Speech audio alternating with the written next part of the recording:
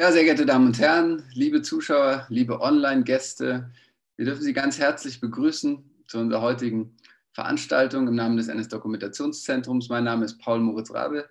Ich leite das wissenschaftliche Team am NS-Dokumentationszentrum. Meine Kollegin Juliane Bischoff ist seit vergangenen Jahr als Kuratorin bei uns am Haus für den Bereich Ausstellung und digitale Vermittlung ähm, fest am Haus und zuvor bereits ähm, im Rahmen des Ausstellungsprojekts Tell Me About Yesterday Tomorrow, das sie bei uns umgesetzt hat. Gemeinsam arbeiten wir derzeit an der Realisierung eines zweiten Standortes des Doku-Zentrums, der in den nächsten Jahren entstehen wird, auf dem Gelände des ehemaligen Zwangsarbeiterlagers in München-Neuaubing.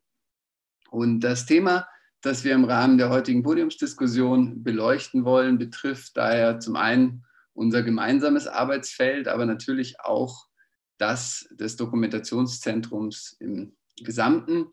Es geht um die Frage, welche besonderen Funktionen, ja, welche Potenziale, Chancen, ähm, aber auch Herausforderungen künstlerische Interventionen an historischen Orten haben können. Genau genau genommen geht es natürlich um historisch bedeutende Orte, denn historisch ist natürlich eigentlich jeder Ort. Und für uns beim NS Dokumentationszentrum bedeutet historisch bedeuten natürlich oft äh, dann solche Orte, die im Zusammenhang mit der NS-Geschichte stehen. Diese Fragen möchten wir gleich mit unseren drei Gästen äh, diskutieren. Christiane Huber, die Künstlerin Christiane Huber, den Künstler Franz Wanner und Leon Kahane, die wir schon jetzt herzlich begrüßen möchten. Äh, die wir im Anschluss noch etwas genauer vorstellen werden. Und gerne würden wir dieses Thema dann auch mit Ihnen diskutieren. Sie haben die Möglichkeit, uns über den Live-Chat auf YouTube ähm, anzuschreiben, aber gerne auch per Mail Fragen zu stellen unter veranstaltungen.nsdoku.münchen.de. Und wir würden uns sehr freuen, wenn Sie von dieser Möglichkeit auch rege Gebrauch machen, um ja in diesen digitalen Zeiten dann vielleicht doch irgendeine Form von Interaktion herzustellen. Also bitte keine Scheu und versuchen Sie, äh, uns Fragen zu stellen. Wir werden dann ähm, versuchen, diese auch in unser Gespräch mit aufzunehmen, insbesondere dann ähm, im letzten Drittel des Gesprächs. Bevor wir in die Diskussion einsteigen möchten, Juliane und ich äh, zuvor aber noch zwei Kontexte kurz skizzieren, in denen diese Veranstaltung für uns steht. Es ist zum einen die Entstehung des Erinnerungsorts in Neuaubing, den ich gerade schon erwähnt habe, zum anderen aber auch unsere aktuelle Wechselausstellung von und über Heimrat Becker. Ja, herzlich willkommen auch von meiner Seite. Vielen Dank, Paul, für die Begrüßung. Ähm, ja, die heutige Veranstaltung, die Diskussion findet statt äh, im Rahmen der ähm, Ausstellung von Heimrat Becker mit dem Titel Es kann sein, dass man uns nicht töten wird und uns erlauben wird zu leben. Ähm, die Ausstellung ist bereits seit November im NS-Dokumentationszentrum München aufgebaut, aber konnte noch nicht eröffnet werden. Deshalb möchte ich kurz ähm, eine kleine Einführung äh, geben, äh, weil natürlich da auch viele Fragen auftauchen, die für die heutige Diskussion für uns interessant sind. Die Ausstellung von Heimrat Becker präsentiert neben Fundstücken, Textarbeiten und Skizzen eine Auswahl seiner fotografischen Werke, die zwischen 1968 und 1993 auf dem Gelände des ehemaligen Konzentrationslagers Mauthausen und dem Konzentrationslager Gusen in Österreich entstanden sind. Mit seiner Kamera begab sich Becker immer und immer wieder auf die Suche nach materiellen Spuren der nationalsozialistischen Gewaltherrschaft, zum Teil lange bevor eine öffentliche Auseinandersetzung stattfand. Er dokumentierte, wie die Orte der Gewalt über die Zeit transformiert, vergessen oder auch umgenutzt wurden.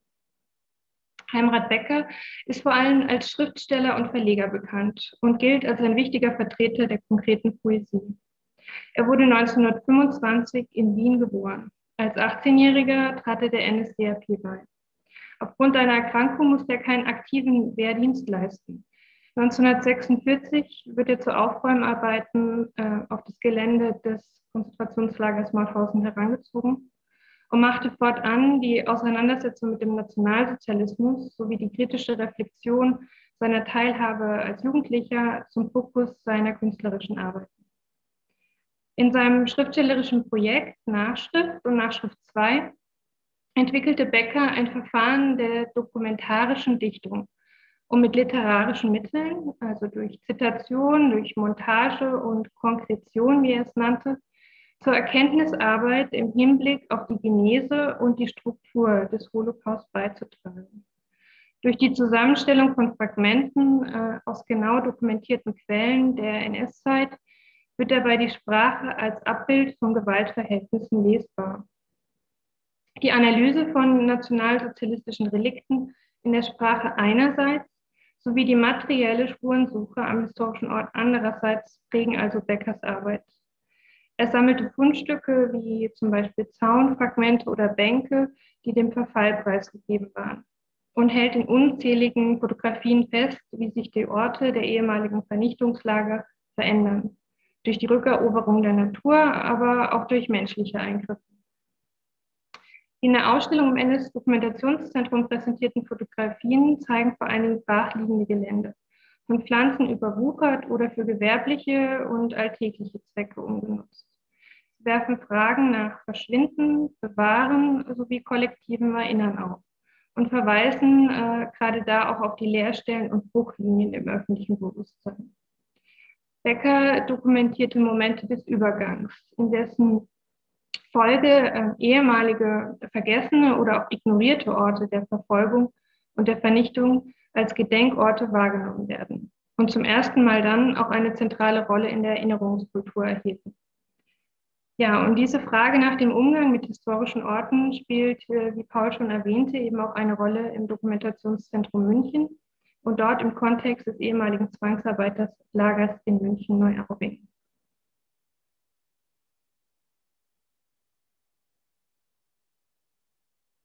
Auch dieser Ort in Neuaubing, ähm, also im Westen von München, am äußersten Stadtrand gelegen, ähm, war ein Ort der Gewaltherrschaft der Nationalsozialisten, der sich dann äh, nach 1945 ähm, verschieden auf verschiedene Art und Weise gewandelt hat, transformiert hat.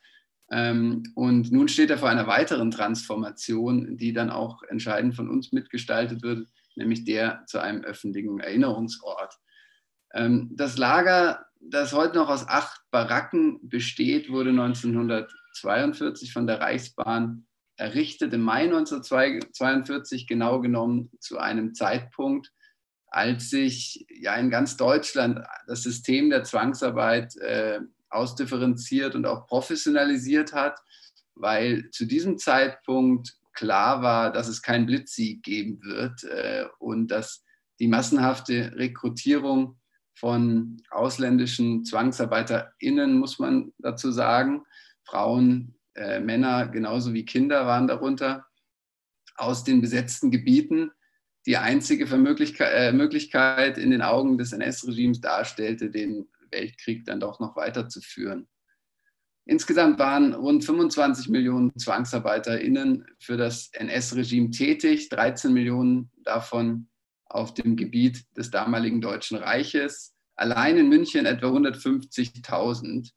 Ähm, das machte bis zu ein Viertel der gesamten damaligen Stadtbevölkerung aus. Und diese ZwangsarbeiterInnen waren untergebracht in 30.000 äh, Massenunterkünften im ganzen Reich. Und das Lager in Neuaubing ist, und das ist das Bedeutsame daran, eines der ganz wenigen über, heute überhaupt noch erhaltenen Lager. Also es sind weniger als zehn, die in Deutschland in dieser Größe noch erhalten sind. Ähm, und es ist damit eines der wenigen baulichen Zeugnisse dieses Massenverbrechens. Es überdauerte auch deshalb, bis heute oder hat, ja, ist weitgehend ähm, so erhalten wie, wie einst gebaut, weil es verhältnismäßig robust errichtet wurde und eben professionell geplant mit Lagerküche, Waschräumlichkeiten und ähm, aus, aus ja, ähm, Ziegelstein gebaut und nicht aus Holz. Während der NS-Zeit waren dort in Neuaubing vermutlich bis zu 600 ZwangsarbeiterInnen untergebracht, die für das nahegelegene Reichsbahn-Ausbesserungswerk arbeiteten. Ähm, eine Dienststelle der Reichsbahn, wo Waggons ähm, repariert worden sind. Das war eine kriegswichtige Tätigkeit. Die meisten dieser ZwangsarbeiterInnen waren sogenannte Ostarbeiter, äh, aber auch Polen und italienische Militärinternierte, die dort in dem Lager selbst untergebracht waren. Also vorrangig jene Gruppen von ZwangsarbeiterInnen, die in der Rassenhierarchie der Nationalsozialisten relativ weit unten angesiedelt waren. Es gab auch noch andere Zwangsarbeiter vor Ort, Niederländer, Franzosen, die waren an anderen Stellen untergebracht. Nach dem Krieg wurde dieses Lager dann kurz als Flüchtlingslager genutzt, nachdem es die Alliierten befreit hatten und dann sehr bald auch wieder von der Reichsbahn, die dann schnell Bundesbahn hieß, ähm, als Lehrlingswohnheim.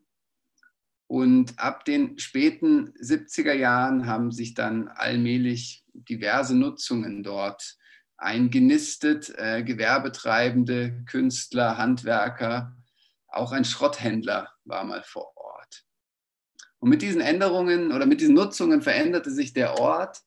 Die Geschichte wurde vergessen, kann man sagen, bis Mitte der 2000er Jahre, als nebenan in Freiham ein riesiges Neubaugebiet geplant wurde und im Zuge dieses, dieser Planungen auch das Gelände des ehemaligen Lagers überplant werden sollte. Ähm, schon damals anwesende Nutzer haben uns vor kurzem einmal erzählt, dass äh, in dieser Zeit jede Woche jemand vorbeikam, der dort entweder eine Tankstelle, einen Supermarkt oder ein Ikea eröffnen wollte. Ähm, und es ist dann auch dank der damaligen Nutzer vor Ort gewissermaßen gelungen, die Geschichte des Geländes wieder an, äh, ans Tageslicht zu bringen. Ähm, es wurde festgestellt, was dieses Lager eben früher war. Es wurde unter Denkmalschutz gestellt und 2015 dann schließlich von der Stadt München erworben. Und wir vom Dokuzentrum, unter anderem auch Juliane und ich, haben jetzt äh, die spannende Aufgabe vor uns, hier einen Erinnerungsort zu errichten, der auch die aktuellen Nutzungen erhält und mitdenkt. Und dabei werden wir ganz sicher auch auf künstlerische Interventionen zurückgreifen. Ähm, und praktischerweise haben unsere drei Gäste äh, bei diesem Projekt auch entweder schon mitgewirkt, wie Christiane Huber, oder werden es in Zukunft auch bald tun. Und äh, Christiane, vielleicht du möchtest, stellst sie jetzt mal vor. Genau, bevor wir richtig in die Diskussion einsteigen, noch ein paar Worte zu unseren Gästen. Äh, Christiane Huber studierte Music and Sound an der Milton Avery Graduate School of the Arts des Bard College in New York. Sie absolvierte außerdem ein Diplomstudium in Psychologie und eine private Schauspielausbildung. Ihre Praxis umfasst unterschiedliche Medien und Formate wie Performance, Sound, Installation, partizipative Methoden oder auch Dokumentarfilm. Und dabei untersucht sie soziale Praktiken wie auch gesellschaftspolitische Narrative.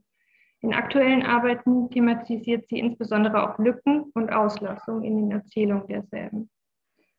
Dann ist äh, Leon Kahane äh, zu Gast. Er ist Künstler und studierte in Berlin, Hongkong und Tel Aviv. Er schafft konzeptuelle Videoarbeiten, Fotografien und Installationen. Äh, Fokus seines Interesses sind häufig geopolitische und soziale Veränderungen der jüngeren Vergangenheit. Und immer wieder lenkt er die Aufmerksamkeit auf Ereignisse und Institutionen, in denen der Geschichte innewohnende Widersprüche zum Ausdruck kommen. Seine Arbeiten spiegeln historische, politische, ökonomische wie auch biografische Aspekte wider. Leon Kahane ist äh, außerdem Mitbegründer des Forums Demokratische Kultur und zeitgenössische Kunst. Ähm, das 2018 äh, als Kooperation der Amateo Antonio Stiftung und der Forschungsgruppe Modellprojekt entstanden ist und äh, sich mit der Bedeutung kultureller Diskurse für eine offene Gesellschaft beschäftigt und dafür ähm, ja, öffentliche Diskursformate äh, veranstaltet, äh, Debattenbeiträge publiziert und sie beraten auch Kunst- und Kultureinrichtungen. Und dann ist äh, Franz Wanner äh, in unserer Runde, der ähm, seit 2000 unter dem Pseudonym Franz Wanner arbeitet. Seine Arbeiten äh, liegen oftmals umfangreiche Recherchen zugrunde, die er mit Mitteln der Aneignung, der Imitation und der Verfremdung innerhalb verschiedener Medien wie Film, Fotografie, Inszenierung oder auch partizipative Formate weiterverarbeitet. Seine Arbeiten ziehen Techniken der Legitimation von Macht in Zweifel und stellen oft auch lokale Wirklichkeiten in globale Zusammenhänge. Er lebt und arbeitet in München. Damit würde ich. In all euren, ja, danke, genau. In all euren Arbeiten verhandelt ihr ja Themen des Hinsehens und Wegsehens, ähm, auch die Geschichte des Nationalsozialismus. Es geht oft auch um aktives Verdrängen, um Lücken im kollektiven Gedächtnis. Ähm, wir würden jetzt vielleicht am Anfang gerne äh, mit euch über anhand von ein paar konkreten, Or äh, konkreten Projekten auch besprechen, wie diese spezifische Auseinandersetzung vielleicht auch aussieht, wo es ähm, Gemeinsamkeiten gibt, wo es auch Unterschiede gibt. Und ähm, deswegen ein paar Projekte beschreiben, weil unsere Zuseher die vielleicht auch noch nicht alle kennen und weil sie aber in jedem Fall sehr äh, sehenswert sind. Ähm, vielleicht fangen wir mit Christiane dir an. Wir haben uns im Rahmen meines Projekts kennengelernt von dir, das hieß Ein Dorf philosophiert. Und äh, du hast mich damals auf eine Podiumsdiskussion eingeladen, ähm, zwei Stunden von München entfernt in, nach Oberbayern äh, in einen Bereich, wo ich kein Handyempfang hatte und war aber ganz erstaunt, dass es dir gelungen ist, eine am, kurz nach der Kirche am Sonntagmorgen um elf äh, eine komplette Turnhalle zu füllen ähm, mit und bei Weißwurstfrühstück eine Diskussion über Zwangsarbeit ähm, angestoßen hast, die das klingt jetzt so banal äh, und irgendwie auch äh, despektierlich. Das soll es gar nicht sein, denn äh, tatsächlich fand ich es sehr beeindruckend, wie es dir äh, gelungen ist, über die Wochen und Monate davor ähm, eine, ja, nicht nur eine Dorfgemeinschaft, sondern genau genommen die Gemeinschaft von drei zusammenhängenden Dörfern zu motivieren, sich mit ihrer eigenen Geschichte auseinanderzusetzen. Und ein besonderer Teil dieser Geschichte war auch die Geschichte der NS-Zwangsarbeit, die eben auch ähm, äh, ja gerade in der Landwirtschaft und im ländlichen Raum, nicht nur in der Stadt München, sondern auch im ländlichen Raum sehr präsent war. Ähm, ja, vielleicht erzählst du mal, was dir bei dem Projekt wichtig war und ähm, in, wie du auch darauf gekommen bist. Also ähm, Grundsätzlich, ich komme selber aus diesem bäuerlich-ländlichen Kontext. Also ich komme aus, aus einem dieser drei Dörfer und ähm, halte das mittlerweile auch wirklich für, lebe da aber seit 25 Jahren nicht mehr und halte es aber mittlerweile wichtig, auch äh, dort was zu machen und auch diese, also diese, ähm, also gerade für politisch auch wichtig, in, in, in dieser Gegend auch was zu tun. Ähm, also nicht nur in München, sondern auch eben auf dem Land. Und da war es aber wirklich jetzt äh, ausgang, ausgegangen bin ich eigentlich von einer sehr persönlichen Recherche, äh, weil ich auf diesem Bauernhof, auf dem ich aufgewachsen bin, so ein Einsiedlerhof, ähm, irgendwann meinen ähm, Vater gefragt habe, was ist denn in dieser Stube alles passiert, in diesem Hof, der so über Generationen weitergegeben wurde. Und dann hat er eben gesagt, ja, da lag dieser tote Zwangsarbeiter, dieser tote Pole auf dem Boden der Stube und hat dann angefangen, ähm, diese Geschichte zu erzählen und damit habe ich mich dann irgendwie vor allen Dingen dann so ab 2015 bis 2018 eingehend mit dieser, mit dem Thema Zwangsarbeit in dieser Gegend beschäftigt, also vor allen Dingen Zwangsarbeit in der Landwirtschaft. Und dann bin ich halt auf so, ähm, eigentlich so, eben auch so Lücken in der Erzählung dieser, dieses Dorfes so gestoßen, wo man einfach ähm, nicht mehr drüber redet, äh, dass eben alle wussten, also gerade die Eltern, Eltern wussten, wer um diese Geschichte von diesem toten, getöteten Zwangsarbeiter ähm, und äh, der dann, genau, also es ist eine längere Geschichte und, ähm, und es hat in dieser Recherche gab es dann noch eine zweite, einen zweiten Erzählstrang, wo ich dann eben drauf gekommen bin, dass im, in der Nachbargemeinde es eben eine dieser sogenannten Ausländerkinderpflegestätten gab, äh, wo dann eben, da bin ich zur Schule gegangen, Grundschule, wo dann eben eine, ähm, also die Babys von ähm, ZwangsarbeiterInnen ähm, getötet wurden. Also 159 Babys im Jahr zwischen, in, den Jahren, in dem Jahr zwischen 1944 bis 1945. Und das war halt eine Geschichte, die wir ähm, nicht wussten, sondern ich bin halt mit 15 in der Keltenhalle Schlittschuh gefahren, äh, in der Eisdisco. Und es war halt genau der Ort, wo damals diese Ausländerkinderpflegestätte war. Ähm, und dann habe ich diese ganzen Bezüge recherchiert und dazu eine Projektwoche gemacht, auf die ich dich dann eingeladen habe. Ähm, und ähm, weil ich dich in Neuaubing getroffen habe bei einer, bei einer Ortsbegehung und eben so langsam sich das so ent, ent, entsponnen hat, die Recherche. Und diese und das, also die Arbeit dort im Dorf hat ziemlich viel Zeit gebraucht. Auch ich dachte am Anfang, ich mache da eine Woche, ein Dorf philosophiert, wir gehen da rein und dann ähm, trommeln wir alle zusammen, die Leute äh, beschäftigen sich mit dem Thema. Und irgendwann war dann klar am Anfang, ähm, war ich erstmal beim Gemeinderat, bei einem der Gemeinderäte und ähm, die saßen mir erstmal mit äh, verschränkten Händen gegenüber und haben gesagt, was soll das? Partizipativ, projektorientiert, was kommt da raus?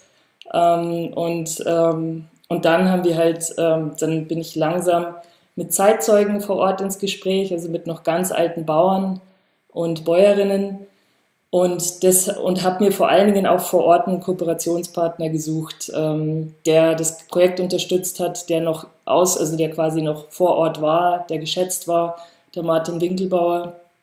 Und darüber hat sich das dann so langsam entsponnen und auch die Formate ähm, entwickelt. Also ich wusste am Anfang wirklich nicht, was wir in dieser Woche machen und am Ende gab es ein Filmscreening, ein Glockenprojekt mit den alten Hausglocken, ähm, ein Vortrag, weil das war ganz wichtig. Die Leute wollten einen Vortrag hören, ein Büchlein, das wollten die Leute auch haben. Hier, hier ist das Büchlein.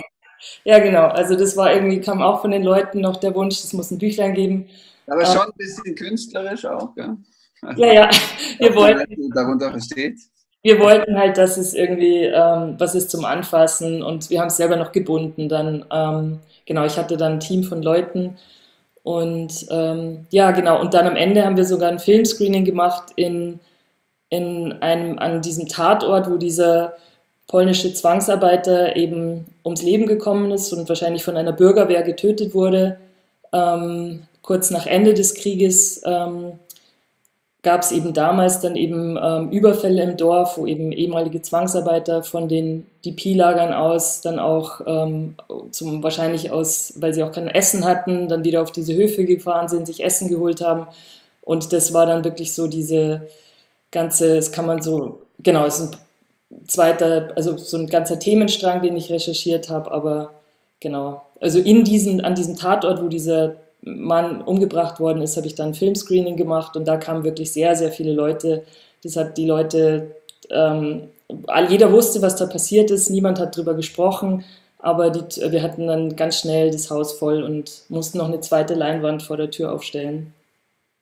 Vielleicht ähm, können wir noch ein Bild anschauen, bevor wir zu den Kollegen weitergehen und möglicherweise noch eine Frage, darf ich noch eine Nachfrage stellen? Also was ja. ich besonders äh, fand an dem Projekt, ähm, war auch, dass man redet ja immer in der Erinnerungskultur und ja auch ihr setzt euch viel mit, mit kollektivem Gedächtnis auseinander.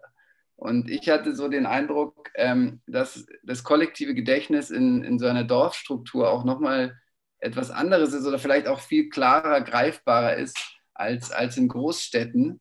Ähm, oder wie hast du das wahrgenommen? Also es, es gibt da wirklich sozusagen ein einheitliches kollektives Gedächtnis. Das ja, es gab halt so eine Geschichte. Es gab auch so, es gab schon so eine Erzählung, die dann irgendwie, es wurde dann irgendwann als Heldenerzählung erzählt. Also auch so diese, als dann, also dieses Dorf wurde dann, da gab es tatsächlich viele Überfälle nach Ende des Krieges, ähm, ähm, weil das Dorf auch sind lauter Einsiedlerhöfe und man konnte da, ähm, ähm man konnte da leichter einbrechen, ohne dass die Nachbarn das gemerkt haben. Also man hatte schon recht, recht schnell eine gemeinsame Erzählung ähm, und die wurde auch so fortgeführt, also auch heute noch. Das hat mich am, am meisten eigentlich auch in Rage gebracht, dass man immer noch so im Kopf hatte, das musste ja so sein, weil genau es gab ja diese Gewalt auf beiden Seiten und ähm, von dem her war das, ähm, das hat mich eigentlich immer so beschäftigt, dass man, dass man dass die Erzählung bleibt und, und manche Details, Inhalte hat man dann erst erzählt, immer wenn ich wieder zur Tür draußen war. genau. Es wurde mir dann über, also wenn wir Interviews gemacht haben, dann wurden Details oft danach noch erzählt. Ja. Es gibt einen Sound bei mir im Hintergrund, ich weiß nicht, ob ihr das stört, euch das stört. Das Telefon klingelt. Ja, bei der Nachbarin. Keine Zuschauerfrage, glaube ich. Nee. Deine Telefonnummer nicht aus. Äh, ich würde ganz gerne überleiten zu einem Projekt von Leon Kahane, ähm, das wir im Kontext der Ausstellung Tell Me About Yesterday Tomorrow, die Paul äh, eingangs schon erwähnt hat, äh, an dem wir gemeinsam gearbeitet haben mit dem Titel Pichipoi. Da geht es auch um die Auseinandersetzung mit einem Ort und auch mit einem familiengeschichtlichen Bezug zu diesem Ort. Und ganz anders ähm, als bei Christianes Projekt gibt es da aber verschiedene Perspektiven auf Erinnerungen. Leon, würdest du das Projekt ein bisschen erläutern für uns? Du müsstest dich noch ähm, laut schalten. Pardon, ich habe das nicht gesehen. Ja, Pichipoi, das Projekt äh, Pichipoi ist vielleicht erstmal zum Titel der Arbeit ähm, das ist ein Begriff, der hat sich entwickelt unter den äh, Gefangenen des äh, äh, Sammellagers Drancy bei Paris. Das war das größte Sammellager in Frankreich. Von dort wurden, ähm, genau, man sieht hier auf dem Bild jetzt äh, die Fassade, die Außenfassade des Gebäudes äh, von dort, das war, von dort wurden die Leute nach Auschwitz transportiert äh, aus Frankreich. Pichipoi ist ein Begriff, den haben, das ist ein imaginierter Begriff für Auschwitz. Leute wussten nicht, wo sie hinkommen und haben gesagt, wir kommen nach Pichipoi. Das hatten das sozusagen äh, der Name für einen Ort gewesen, den sie nicht kannten und wo auch nicht ganz klar war, was passieren würde, aber der Verdacht dass es dort äh, dann ähm, den Tod geht, der lag natürlich nahe. Genau, also diese, das Drancy ist ein Vorort von Paris. Und dieses Gebäude in Drancy, in dem dieses Sammellager äh, eingerichtet wurde, war eine modernistische Wohnanlage, äh, die erste ihrer Art, ich glaube, in ganz Europa mit ähm, Wohnhochhäusern. Ähm, der Ingenieur war Jean Prouvé, also den kennt man eigentlich aus der, äh, so, ich würde sagen, aus der Designgeschichte der ähm, äh, Moderne. Und äh, das war im Prinzip eine modernistische Wohnanlage. Also hier wurde quasi schon ein Wohnprojekt geplant ähm, äh, mit allem drum und dran, Geschäften, Kinos, nehme ich mal an. Bevor das fertig gebaut wurde, äh, also zwei, 1932 wurde, war, glaube ich, Baubeginn, wenn ich es noch richtig zusammenbekomme. Und ähm, ich glaube, 1941 wurde es dann ähm, umfunktioniert, noch vor der Fer Fertigstellung erstmal in ein Gefängnis durch die Vichy-Regierung und dann zu einem Sammellager, vor allem vorrangig für die französischen Jüdinnen und Juden. Und äh, der biografische Bezug stellt sich darüber her, dass meine Großmutter dort interniert wurde und als eine der wenigen auch befreit wurde am 18. August 1944.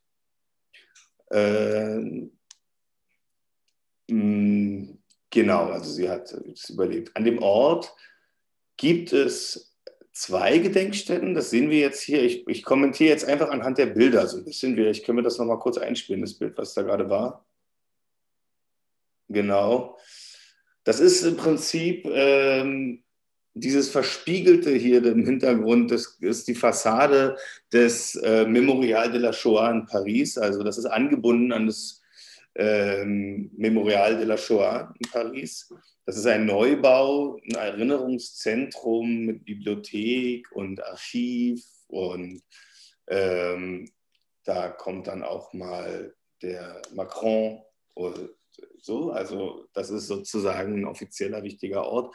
Und der ist auf der anderen Straßenseite gegenüber dieser Wohnanlage, dieses Gebäudes.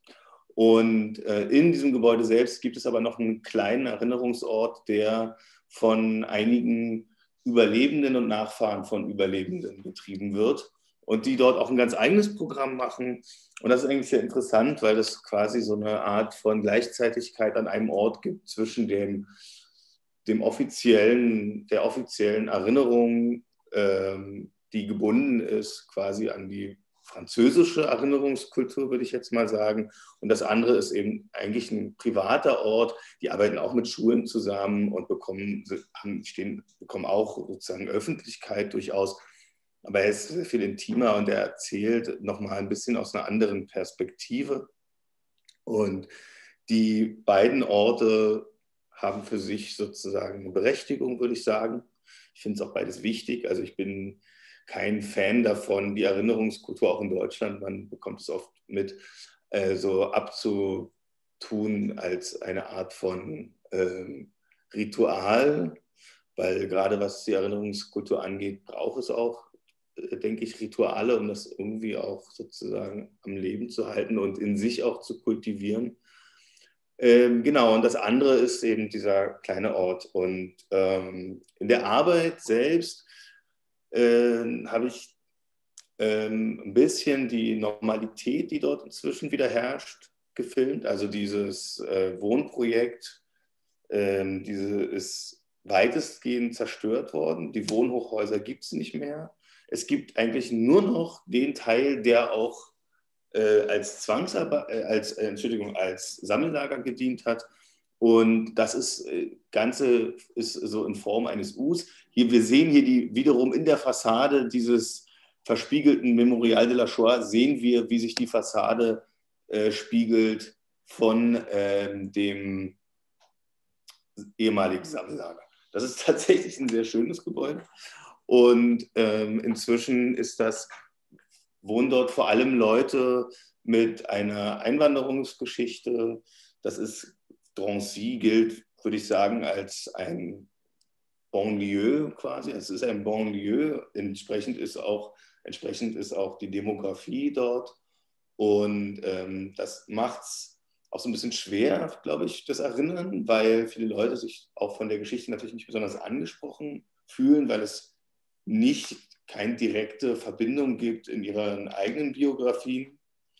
Und das ist natürlich so ein bisschen eine Herausforderung. Ne? Wie bindet man die Leute ein? Und das sind alles Aspekte, die für mich dann eine große Rolle spielen. Und genau, und in dieser Videoarbeit ähm, gibt es, sieht man, also ich laufe mit einem dieser Überlebenden, äh, Lucien Tinader, durch dieses U, der macht mit mir sozusagen seine, seine Runde, die er dort immer so, da ist Lucien, genau, ganz großartiger junger Mann, der mir dort, also das irgendwie sehr lebhaft und rührend präsentiert hat. Im Hintergrund sehen wir ähm, diese Gänge da und diese sehr äh, typische Fassade.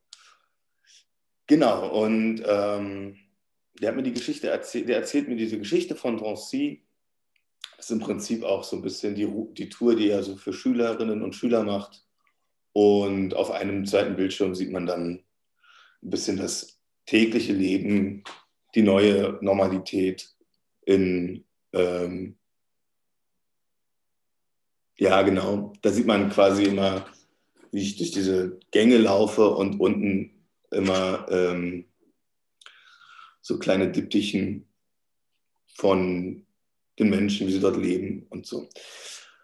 Ja, das ist im Prinzip erstmal als Beschreibung der Arbeit. Ähm, für mich war das deshalb, ich habe das deshalb gewählt, weil im NS-Dokumentationszentrum in München ja auch eine sehr spezielle Perspektive präsentiert wird, ähm, nämlich im Prinzip die äh, ein bisschen die Geschichte der NSDAP irgendwie erzählt wird in München. Und äh, mir war es einfach, für mich persönlich war es einfach sehr wichtig, nochmal quasi in diesen in dieses Dokumentationszentrum nochmal ähm, quasi so einen anderen äh, Art, anderen Aspekt von Erinnern reinzubringen, nämlich dieses, ähm, diesen Erinnerungsort, der nochmal anders funktioniert, der eine andere Geschichte erzählt, äh, die ganz woanders stattfindet, aber eben doch daran gebunden ist.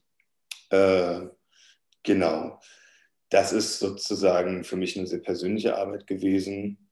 Und äh, dazu gehörte noch, dass ich eine Zeit, also meine Großmutter war äh, Zeichnerin und sie hat Kinder gezeichnet, die in Drancy ähm, von 1944 hier.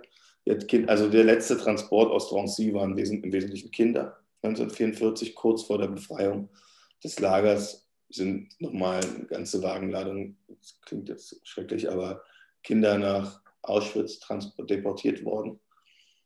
Äh, sie hat diese Kinder gezeichnet. Für sie war das natürlich unerträglich, das zu beobachten und dann auch zu überleben. Äh, das macht natürlich auch unheimlich viel mit einem. Und äh, der dritte Teil der Arbeit, wir haben es schon mal kurz gesehen, ich habe die gesamte Ausstellung, alle Ausstellungstafeln äh, dieser, dieses kleinen Ausstellungsraums abdokumentiert, abfotografiert ähm, und ähm, diese Tafeln quasi ausge, ausbelichtet, ausgeprintet als große Drucke und die dann sozusagen nochmal ins Dokumentationszentrum in München gehängt. Also ich habe im Prinzip eine quasi Reproduktion der Tafel, dieser Ausstellungstafel ähm, im NS-Dokumentationszentrum in München nochmal gezeigt. Die Tafeln haben verschiedene Themen. Ich finde die auch irgendwie unheimlich toll gemacht. Und äh, diese ist hier also La Résistance juive immigrée. Äh, meine Großmutter und mein Großvater haben sich auch in der äh, französischen Resistance kennengelernt. Deshalb war mir das irgendwie wichtig, diese spezielle Tafel nochmal zu zeigen. Es gibt aber zum Beispiel auch eine Tafel über die ähm, über ähm, französische Soldaten aus den ehemaligen Kolonien gegen die Deutschen gekämpft haben. Also es ist, ist auch wahnsinnig interessant. Und genau, also das ist so ein bisschen die Arbeit. Das ist eine sehr dokumentarische Arbeit natürlich und die ist sozusagen in der auch relativ vorsichtig, sage ich mal. Aber hier war es mir einfach wichtig, möglichst viele Elemente einer solchen Erzählung und vielleicht auch einer Gleichzeitigkeit von Erinnern und ähm, ähm, nebeneinander zu stellen und eben, also es ist ja ein bisschen wie so eine, so eine Dreiecksgeschichte. Ne? Man hat diese beiden Erinnerungsorte das offizielle Memorial de la Shoah, dann dieses, diesen kleinen Ort hier und dann eben den, äh, sozusagen das NS-Dokumentationszentrum in Deutschland, was vor allem ähm, den Blick eben äh, auf die Täter ähm, richtet. Genau. Und so habe ich da versucht, ein bisschen quasi eine sogenannte ortsspezifische Arbeit in NS-Dokumentation zu entwickeln. Ja, äh, ist natürlich eine sehr spannende Arbeit, weil sie auch so viele Dimensionen aufmacht, wie du sagst, ähm, weil sie natürlich äh, Form des Erinnerns anspricht, also auch die Frage, wie erinnern wir, ähm, dessen Perspektiven äh, sind Teil der Erinnerungskultur. Äh, natürlich aber auch die Gleichzeitigkeit von Vergangenen und Gegenwart natürlich der historische Ort oder wie Paulus eingangs gesagt hat, der historisch bedeutsame Ort immer auch ein Ort der Gegenwart ist. Und äh, ja, mit, dem, mit den Transformationen oder der Gleichzeitigkeit äh, der Gegenwart äh, an solchen Orten hat sich auch Franz Wanner beschäftigt, konkret in einem Projekt ähm, in München Otto Brunn. Ähm, vielleicht können wir darüber noch ein bisschen mehr erfahren.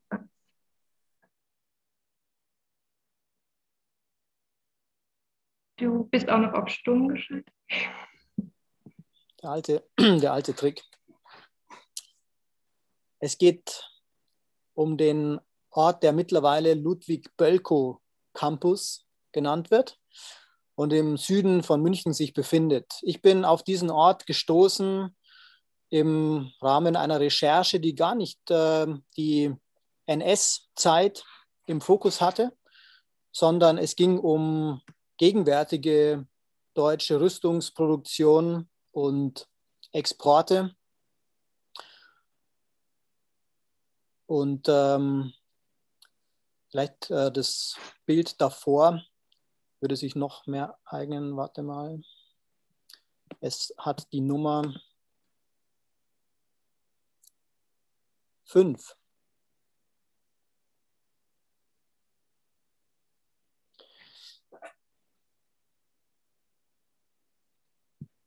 Eine breite Recherche zu äh, Militarisierungstendenzen, zu Rüstungsproduktion, zur ähm, Involvierung deutscher Hochschulen ähm, in Rüstungszusammenhänge hat dazu geführt, äh, dass, dass eine ähm, äh, parlamentarische Anfrage evoziert wurde durch eine, durch eine Installation mit dem Titel Dual Use, in der es also gar nicht um NS-Geschichte ging. Und ähm, das hat äh, mich dann auf diesen Ort gebracht, der eben im Süden Münchens liegt und äh, 2012 gegründet wurde als Innovationscampus unter Beteiligung einiger Hochschulen, einiger Rüstungsfirmen, äh, also eine seltsame, ein seltsames Konglomerat, das sich da gebildet hat aus Rüstung und Bildung sozusagen. Und ähm, das hat mich bewogen, mir den Ort näher anzusehen. Jetzt kann ich nicht genau erkennen, ob das Bild schon zu sehen ist. Ja, genau, doch. Äh, ich bin da hingefahren und habe ähm, zunächst fotografiert und äh, dieses Bild war eine Art Schlüsselmotiv, das ich gefunden habe. Was man auf der rechten Seite sehen kann, sind Mauerreste eines äh, ehemaligen Zwangsarbeitslagers aus der NS-Zeit.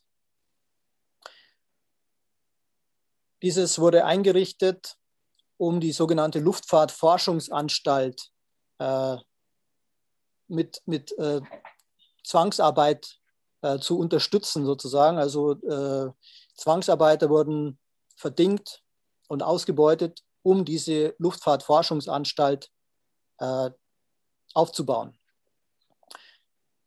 Ein ähnlicher Ort der Rüstungsproduktion wie in Peenemünde es gab auch Verbindungen nach Peenemünde. Hm. Dieser, äh, diese Luftfahrtforschungsanstalt äh, pausierte dann kurzzeitig nach dem Zweiten Weltkrieg.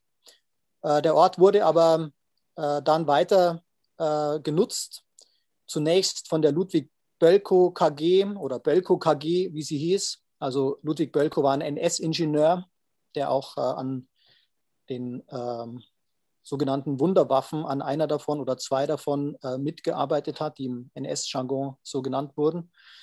Also ein maßgeblicher äh, Ingenieur, nicht jemand, der, der irgendwie wo steht und schraubt, sondern ein Hauptkonstrukteur sozusagen.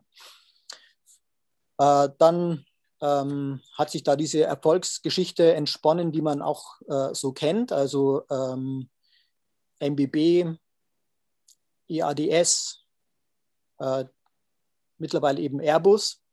Und äh, 2013 erfolgte dann diese Umbenennung in Ludwig-Bölkow Campus. Man hat also im Jahr 2013 einen NS-Ingenieur gewählt zur Namensgebung für diesen Campus. Und was mich an diesem Bild hier frappiert hat, war eben, dass äh, aus einer Perspektive beide Zeiten zu sehen sind. Die, die Zwangsarbeit, auf der äh, dieses ganze ähm, äh,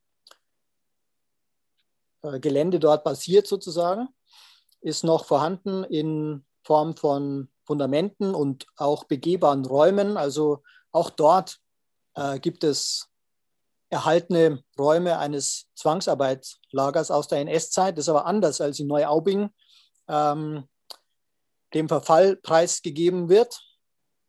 Und gleichzeitig sieht man hier hinten den Ludwig-Bölkow-Campus. Äh, hier sieht man das äh, Schild der Firma Airbus. Auch andere Firmen sind dort, Siemens zum Beispiel und die Firma IABG und weitere. Außerdem die TU München, die Technische Universität München, die Hochschule München und auch die Universität der Bundeswehr. Ich habe dann äh, verschiedene Medien verwendet, um mich diesem Ort näher, äh, um diesem Ort näher zu kommen und zu begreifen, was da passiert. Äh, zunächst mal, und da könnte man vielleicht diese Installation zeigen. Nummer, Bild Nummer 6 wäre das.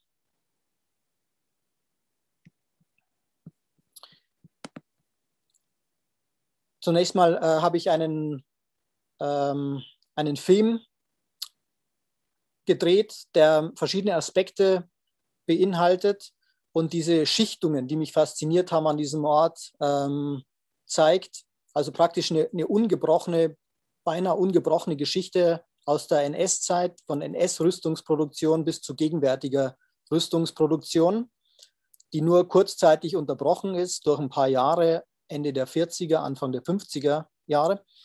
Und ähm, dort eigentlich äh, weiterhin militärisch produziert wird, ohne aber ähm, diese Geschichte äh, zum Vorschein kommen zu lassen. Also die Geschichte wird ausgelagert, auch ganz bewusst und, und ähm, offensiv ausgelagert.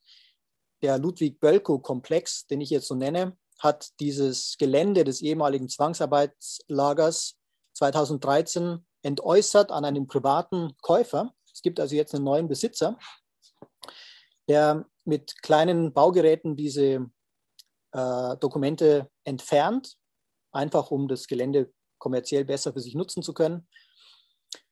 Unter äh, Einbindung auch sozusagen oder im Wissen der Denkmalschutzbehörden, die ich versucht habe einzubinden, die äh, damit aber eigentlich nichts anzufangen wussten.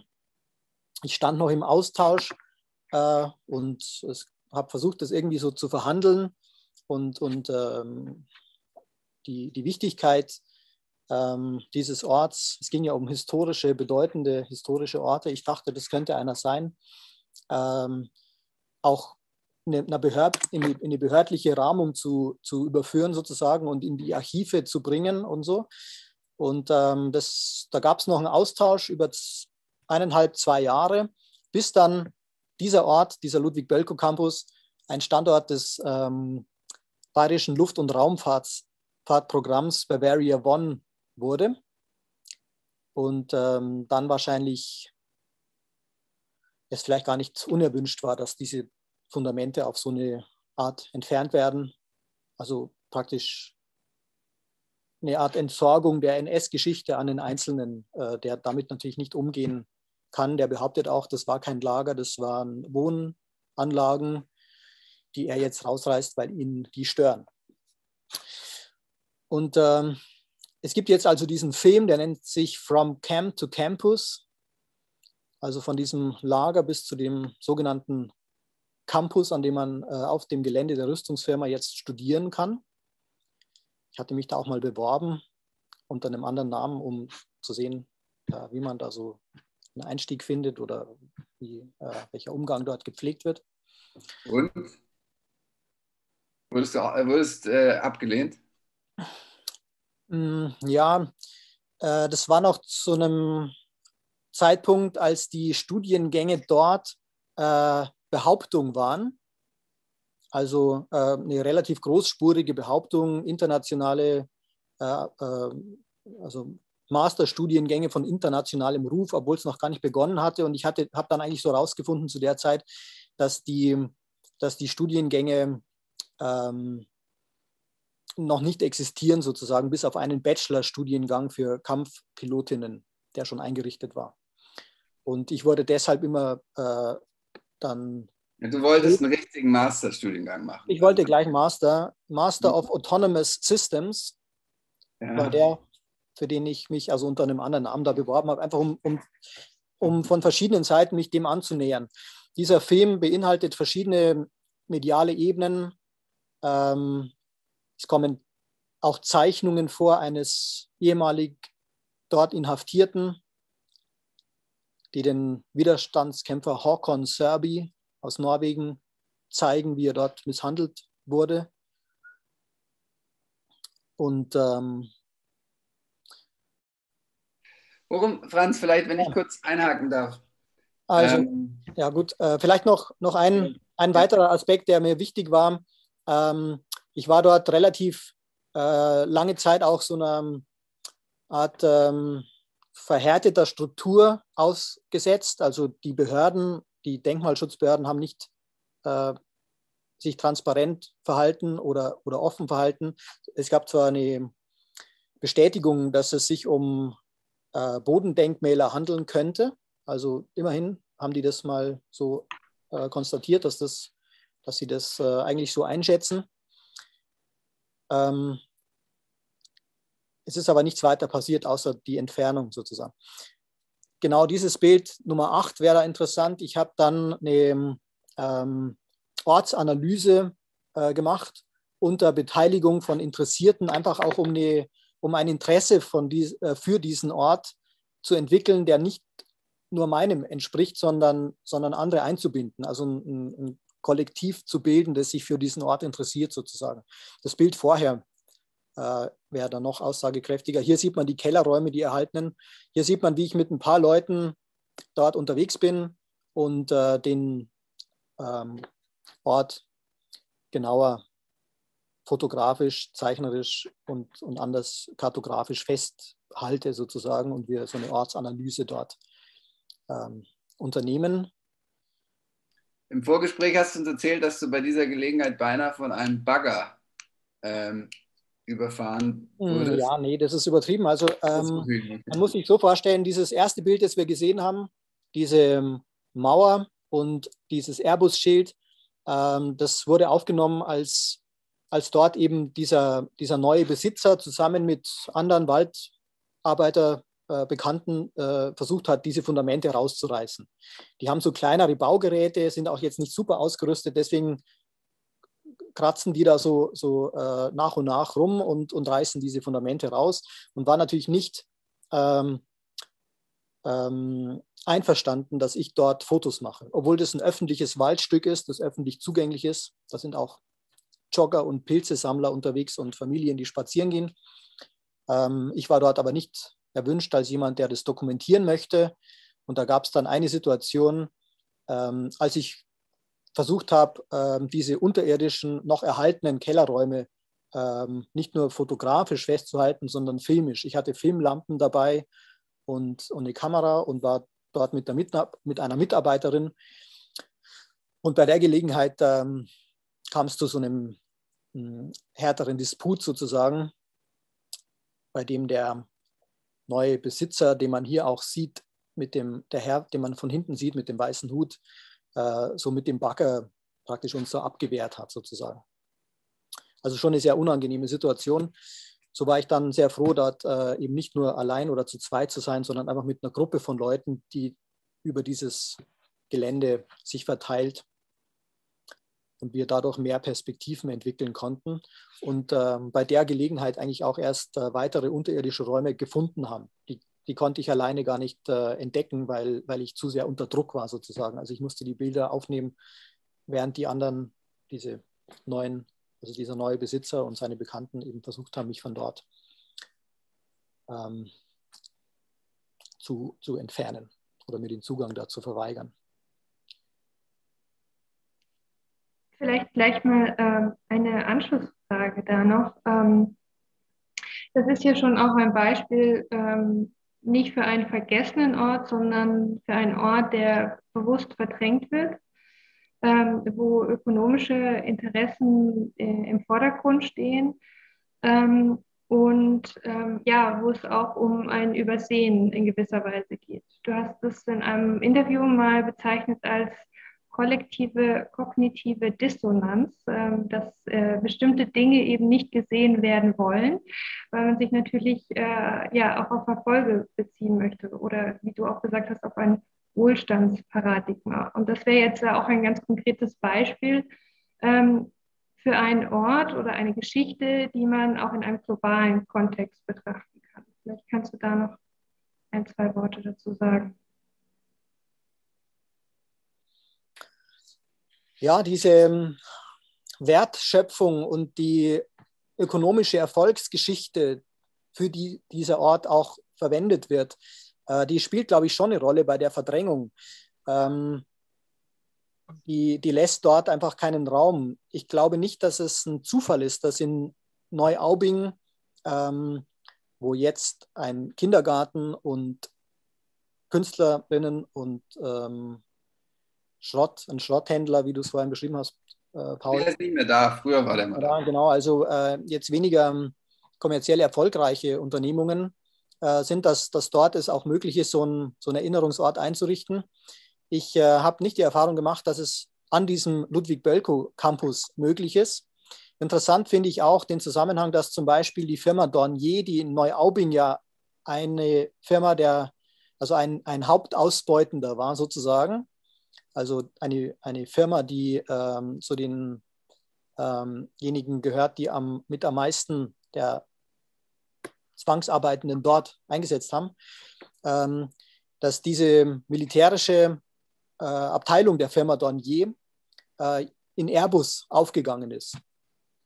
Also ähm, diese, diese Erfolgsgeschichte äh, des, des ökonomischen Erfolgs und die, die Hightech-Produktion, ähm, die findet schon eine Fortsetzung und zwar an diesem Ludwig Bölkow Campus in Form der Firma Airbus, die die ähm, Wertschöpfung der Firma Dornier, die ja auch äh, massiv dort in Neuaubing eben Zwangsarbeiter eingesetzt hat, mh, hm, fortschreibt.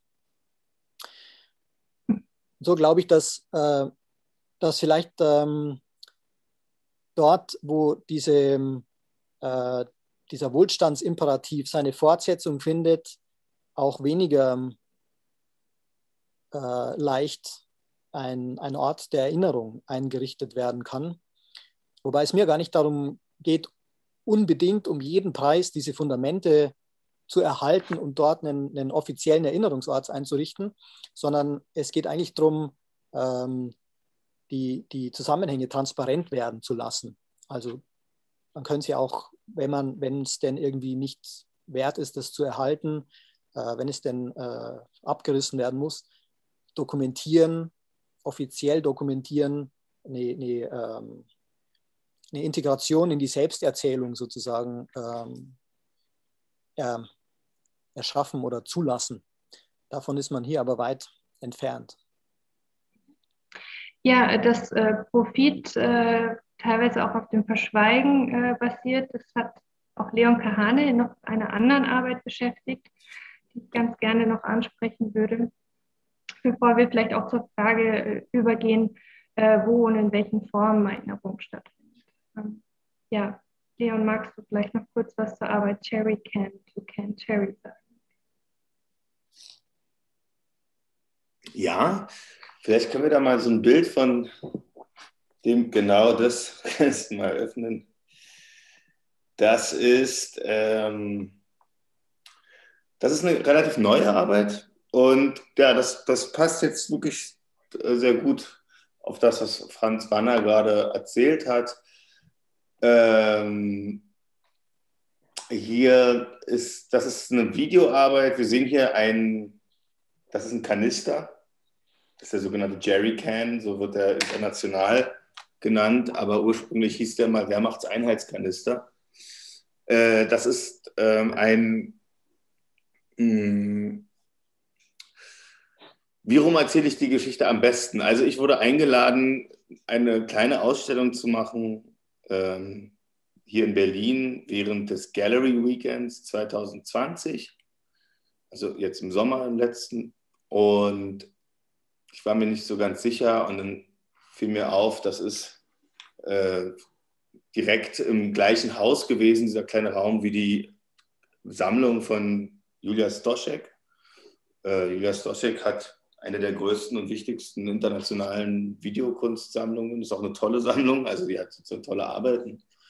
Hat viel mit Künstlern zusammengearbeitet, wie Arthur Jafer, der sich ganz stark mit der, den Zusammenhängen und den Kontinuitäten aus Sklaverei und Kolonialismus beschäftigt gerade für ähm, äh, die afroamerikanische Community.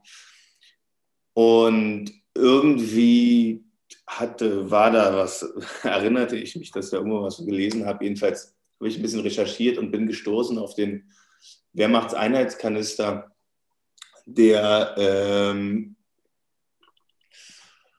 ähm, so ein, eines dieser ähm, Produkte ist der deutschen Kriegsmaschinerie, äh, die sozusagen aufgrund ihrer Genialität in der Konstruktion bis heute hergestellt werden. Und der Kanister wurde von der Firma Max, also von verschiedenen deutschen Firmen hergestellt, unter anderem von der Firma ähm, Max Brose Autoteile äh, für die Kriegsmaschinerie produziert. Und äh, dafür hat die Firma Max Brose heißen, äh, also hat dafür auch Zwangsarbeiter angefordert. Die hatten ein eigenes Zwangsarbeiterlager an ihrer Produktionsstätte in Coburg angegliedert, ähm, bewacht von der Wehrmacht. Und auch hier, ähm, also hier ist es so, das war dann, also die Firma hat vorher Fensterheber produziert im relativ kleinen, überschaulichen Rahmen. Und mit der Produktion dieses Wehrmacht-Einheitskanisters unter äh, und mit Hilfe oder Hilfe, also mit diesen Zwangsarbeitern, äh, sind sie zum Massenproduzenten gewachsen, haben sich eigentlich darüber dann auch später zu, für den Persilschein qualifiziert. Man muss sagen, Max Brose, der Firmengründer, war ein, wirklich ein glühender Nazi, äh, glühender Antisemit. Und das ist jetzt erstmal alles quasi Teil der Geschichte, wie wir sie an vielen Stellen in Deutschland. Man muss eigentlich, wie Franz uns gerade gezeigt hat, man muss eigentlich nur irgendwo mal ein bisschen tiefer graben und relativ schnell tun sich diese Abgründe irgendwo auf. Ähm das Interessante ist hier in diesem Fall, dass auch hier die Firma Max Brose, die gibt es bis heute, ist einer der größten Familienunternehmen, haben über 25.000 Angestellte. Es gibt eigentlich wahrscheinlich kaum ein Auto weltweit, wo nicht irgendwelche Teile von denen drin sind, vor allem Autositze und so Armaturen und sowas produzieren die, also diese und, und Fensterheber nach wie vor. Also sie haben auch den ersten elektrischen Fensterheber entwickelt. Und ähm, ja, ähm, der, was hier speziell ist in diesem Fall, ist, dass die Firma Max Brose ähm, nicht nur sich nicht mit ihrer Vergangenheit beschäftigt haben, wie es inzwischen ja viele doch getan haben, oft mit, sozusagen äh, unter viel Druck ist das erst passiert, gegen viel Widerstand. Äh, und inzwischen wird sich damit natürlich dann gerühmt in diesen Firmen, dass sie sozusagen so ordentlich und vorbildlich ihre Vergangenheit aufgearbeitet haben. Hier ist das nicht so. Ähm, der Enkel von Max Brose, Michael Stoschek, hat ähm, ein, ähm, sozusagen eine Art Familiengeschichte in Auftrag gegeben bei einem Historiker, die die, der die Familiengeschichte komplett schönt. Und dieses Buch kommt auch komplett ohne Quellen aus. Das ist sozusagen in der Geschichtswissenschaft ein ziemlicher Skandal gewesen, dass auf so eine Art und Weise Revisionismus aktiv betrieben wird. Ähm, äh, Wobei der Professor selbst äh, an die, äh, das damit erklärt, dass es besser lesbar sei, ohne Fußnoten. Ja, es ist unterhaltsamer. es ist unterhaltsamer. Ja, er hat ähm, er sieht sich natürlich irgendwie einer Hexenjagd ausgesetzt, dieser Historiker, der diese Auftragsarbeit äh, angenommen hat und fühlt sich diskreditiert und ungerecht behandelt. Äh, Michael Stoschek äh, ebenfalls, er hat gesagt, mit diesem Buch ist alles zu der Familiengeschichte gesagt. Sein Großvater war ein großer, ein großer Humanist, der die äh, ähnlich wie die Balsens, äh, so die Zwangsarbeiter besonders gut behandelt hat. Das stimmt natürlich alles nicht. Das ist auch nachweisbar, dass es nicht stimmt. Er hat auch gesagt, ähm, sein Großvater konnte nur keine Juden retten, weil es in Coburg kein Konzentrationslager gab. Also sozusagen, das, nur um das mal jetzt so ein bisschen zu illustrieren, die Denkweise, die sich da so Bahn bricht. Naja, und ähm, Zwei, seit ab 2004 hat er auch versucht, in Coburg eine Straße umbenennen zu lassen, in Max-Brose-Straße. Das ist auf sehr viel Widerstand gestoßen, so im Stadtrat. Aber äh, nachdem er dann so Gelder gekürzt hat, Subventionen und so weiter und so fort, also das ist natürlich der größte Arbeitgeber da am Platz und wahrscheinlich auch der größte Steuerzahler etc. Er hat alle Zuwendungen gekürzt und dann hat 2015 ist dann die Stadt auch eingeknickt und hat eine Stadt Max-Brose-Straße äh, benannt Die führt entlang der ehemaligen Synagoge von Coburg. Und das ist ähm, alles bekannt. Und das ist eigentlich auch das Skandalöse daran, dass ähm, in der Kunst, also Julia Stoschek ist die Erbin und auch ähm, Anteilseignerin und im Vorstand der Firma und ist auch sozusagen natürlich da sehr loyal, was das angeht. Und ich finde eben auch, dass zu sagen, es ja eigentlich nicht darum geht, ähm, also dass es ja vor allem darum geht, diese Geschichte aufzuarbeiten, transparent zu machen und sichtbar zu machen und sich mit der zu konfrontieren. Und eigentlich zeigt ja auch die Erinnerungskultur, dass diese Firmen damit alle ganz gut gefahren sind. Sonst würden sie sich damit jetzt nicht sozusagen alle so schmücken. Aber äh, das machen die nicht. Sie wollen es nicht. Es wird geschwiegen. Es wird auch alles relativiert. Und ähm, ja, inzwischen, also die Arbeit äh, hat tatsächlich so ein bisschen Wellen geschlagen. Also es ist bis zu Böhmermann irgendwie durchgedrungen, diese ganze Storchek-Geschichte äh, nach dieser Ausstellung. Und wir können uns das jetzt hier nochmal ein bisschen, ja, also das ist eine Filmarbeit, wir können jetzt in Installationsansicht schauen, genau. Das ist im Prinzip so stilistisch ein bisschen gehalten, so äh, wie so, so, so, diese leicht äh, pädagogischen, aber auch propagandistischen äh, Cartoons aus dieser Zeit, so 40er Jahre. Äh, es gibt eben diesen kleinen Kanister, der hat, äh, der sitzt dort in seinem Sessel und erzählt seine Geschichte, weil ab 1944 die Briten haben sich den besorgt und haben den nachgebaut. Weil die Briten hatten sozusagen so schlechte Kanister und ähm, in diesem Video erzählt im Prinzip dieser, dieser Zeitzeugenkanister, wie er als Produkt ähm, dieser Tötungsmaschinerie der Nazis eigentlich nochmal eine Chance gehabt hat und quasi die Seiten gewechselt hat und am Ende den Briten geholfen hat oder den Alliierten. Das ist so ein bisschen sozusagen so der Plot, der hier so erzählt wird von diesem Kanister. Der erzählt seine eigene Geschichte. Also er ist selber eigentlich wie ein Zeitzeuge. Ähm, genau, das ist die Arbeit. Wir können die jetzt natürlich nicht sehen, weil. Leon, vielleicht äh, darf ich dich kurz obwohl es sehr spannend ist, ähm, an der Stelle unterbrechen, um äh, noch, noch Christiane Huber mal wieder einzubinden. Ähm, also wir haben jetzt bei, bei dir, Franz, und auch bei dir, Leon, gesehen, bei den Beispielen zumindest, dass ihr auf erhebliche Widerstände gestoßen seid in eurer Arbeit ähm, oder auch Widerstände angesprochen habt ähm, Kunst sozusagen auch als etwas verwendet habt, ähm, um gesellschaftliche Missstände in der Erinnerungskultur, auf, um auf sie aufmerksam zu machen.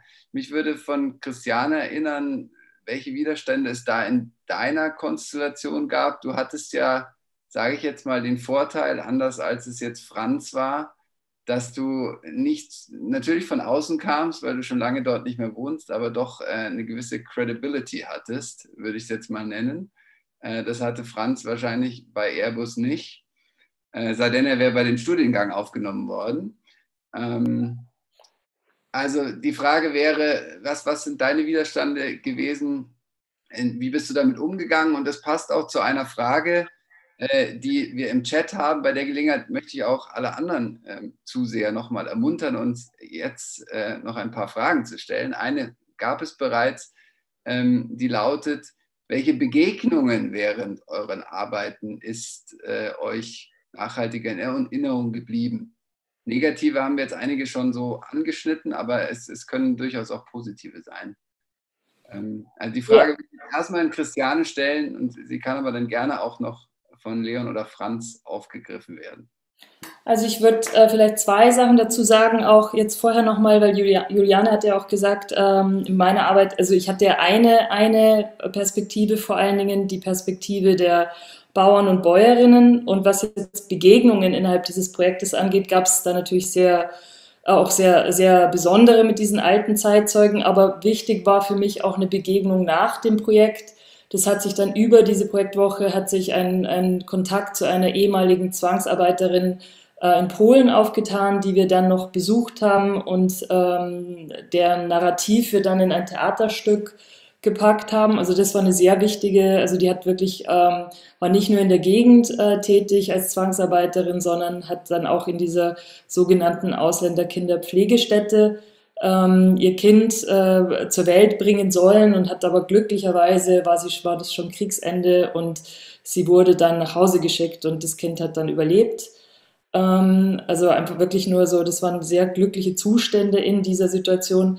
Aber ähm, das zu dem Thema, welche Begegnungen hatte ich auch, also die mir so in Erinnerung geblieben sind. Ähm, aber es gibt noch eine andere Geschichte, auch jetzt zu dem Widerstandsthema, würde ich vielleicht das Bild von dieser Mistgabel oder Heugabel, das die Juliane vorher kurz gezeigt hat, nochmal zeigen, ähm, weil das tatsächlich ähm, der größte Widerstand war wahrscheinlich schon diese Geschichte rund um diese diesen Tod dieses äh, ehemaligen Zwangsarbeiters äh, Stefan Stawojinski. Ähm, also zum einen gibt's da kaum, habe ich kaum was in den Akten gefunden, über den ich war natürlich in den Archiven.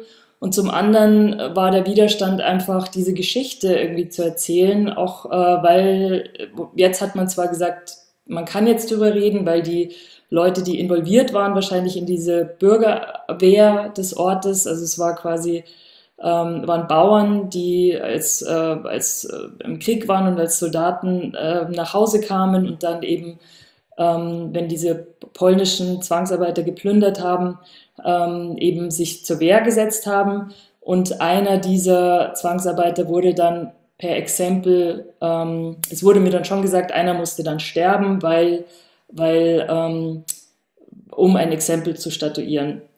Und das heißt, ähm, und aber rund um diese Geschichte haben sich wahnsinnig viele Widerstände aufgetan. Ähm, und auch, es fällt, also tatsächlich ähm, wurde auch diese Geschichte dann oft noch verdreht und dann selbst auch beim, beim in der Projektwoche selbst dann so ähm, hingestellt, als wäre dieser Mann in die Mistgabel reingelaufen. Und ähm, also, und ich habe dann dieses Theremin hier gebaut. Also es ist eine, ähm, eigentlich eine Mistgabel. Also vielleicht kennt ihr dieses ähm, Instrument Theremin, äh, so ein elektronisches Instrument, das eben berührungslos äh, funktioniert und äh, je nachdem, wo die Hände an diesen Elektroden sind, ähm, kann man Tonhöhe oder auch Lautstärke verändern. Und ich habe das versucht, anhand äh, dieser Mistgabel oder Heugabel in dem Sinne ähm, zu verbildlichen. Mit einer Heugabel wurde dieser äh, Pole eben umgebracht. Ähm, und ich habe dann ähm, da so ein, ähm, eine Software angeschlossen, so aus, und, und da sind verschiedene Stimmfetzen, also Narrative der Geschichte wurden abgespielt. Immer nur so ganz kurze Stimmfetzen von den Zeitzeugen, die eben diese Geschichte ganz unterschiedlich erzählen. Und das, ähm, und so, wenn man eben an dieser Missgabe vorbeigegangen ist, dann hat das ähm, ähm eine, einen kurzen äh, Stimmfetzen abgespielt. Und das war für mich eben also rund nicht verständlich und auch nicht wirklich, äh, und die Geschichten waren auch wieder, widerläufig oder gegen, gegenläufig. Aber für mich war das, äh, ist das eigentlich ein ganz guter Ausdruck von dem Widerstand, der mir in diesem Projekt auch begegnet ist. Über eine Geschichte zu erzählen, über die man einfach nicht mehr sprechen will. Und die aber sinnbildlich steht natürlich für ähm, den Umgang auch ähm, mit dieser Zeit. Oder in der Regel wurde mir halt erzählt, ja, eigentlich ist es denen doch gut gegangen das war das äh, ganz klassische Bild. Und dann, wenn man näher nachgebohrt hat, war es schon so, ja, einigen auch nicht. Und es gab schon noch böse Bauern und so. Also genau, wahrscheinlich ging es ihnen tatsächlich auf einigen Bauernhöfen gut, aber auf ganz vielen auch nicht. So. Und ähm, ja, und sie waren natürlich auch, sie waren ja zur Arbeit äh, versklavt, also äh, gezwungen. Genau. Das ist jetzt erstmal meine Antwort darauf, da gibt es noch viel zu sagen ja, vielleicht eine Frage an, an alle. Was, habt, wir haben jetzt verschiedene Arbeiten von euch kennengelernt. Ähm, ich selbst bin Historiker, ich würde dann ähm, eher mit anderen Medien arbeiten. Aber was ist denn eigentlich, die, was seht ihr als besondere Chance in solchen künstlerischen Annäherungen an erinnerungskulturelle Missstände euch zu nähern? Gibt es eine größere Freiheit möglicherweise? Gibt es ein, eine größere Freiheit der Kunst? Ähm, und oder ist das letztlich, sitzen wir irgendwie im gleichen Boot? Also das würde mich auch interessieren. In, in, es gibt natürlich eine größere Formvielfalt, sage ich mal, die die Kunst bietet als Intervention. Aber gibt es darüber hinaus äh, aus eurer Sicht äh, eine, eine, besondere Chance, die ihr auch, auch seht? Äh, oder ähm, ja. Also der Satz endet nicht, aber vielleicht könnt ihr ihn äh, vollenden. Ähm, Franz, du, also was ich vielleicht an dich, Franz, deswegen, weil, ähm, oder was bei euren allen Arbeiten fand ich interessant, ihr, ihr ähm, stellt gesellschaftliche Missstände in puncto Erinnerungskultur ähm, oder macht sie öffentlich, ohne aber einen äh, moralisierenden Anspruch zu deutlich zu machen. Ähm, das finde ich persönlich eigentlich ganz gut. Ähm,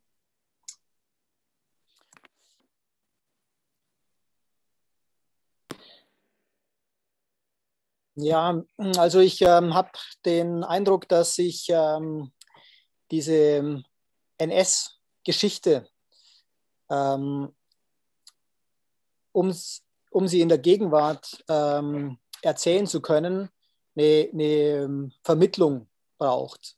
Und ähm, man sich auch einen ähm, vermittelnden Zugang, der auch experimentell oder spielerisch oder äh, auf, eine, auf eine Art involvierend und, und äh, ergebnisoffen sein kann, vorstellen sollte.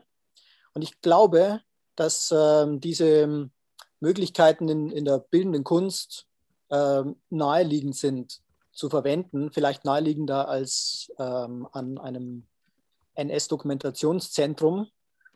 Ähm, natürlich ist das ein sehr heikler Punkt, weil, weil es ähm, ähm, um bestimmte Fakten geht, auf die man sich bezieht.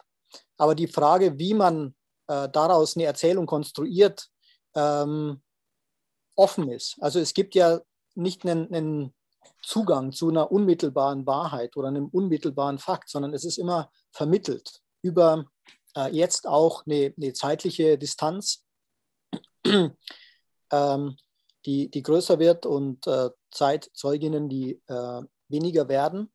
Aber auch unabhängig davon äh, bleibt die Frage, wie wird erzählt, mit welchen Mitteln wird erzählt.